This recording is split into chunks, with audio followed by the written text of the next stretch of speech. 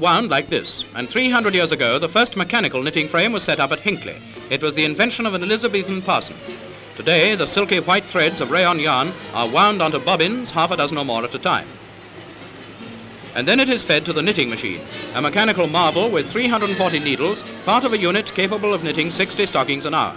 The knitter automatically reduces the number of loops as it nears the ankle, and so makes the shape.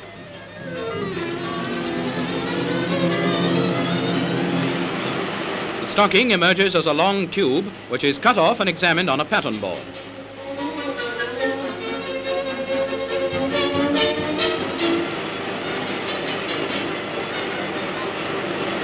This machine knits fully fashioned stockings at the rate of 24 an hour.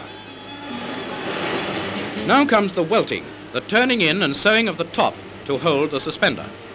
After the loose ends have been cut off, the mock seams are put in, and a good seamer can seam five stockings a minute.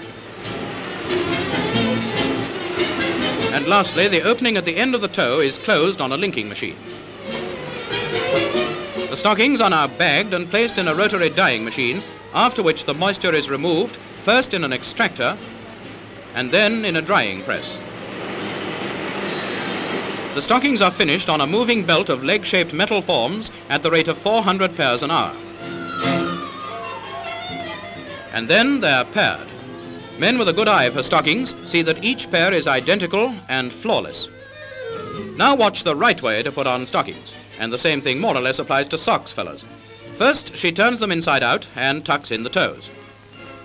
Now she gently rolls the stocking over the foot and up the leg.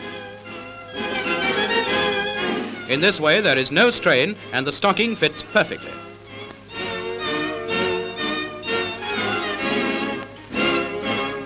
This stocking is the wrong size, too long, and in consequence its life will be too short.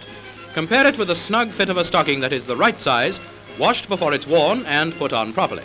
You know, there's something in this stocking business. Hmm, she has lovely eyes.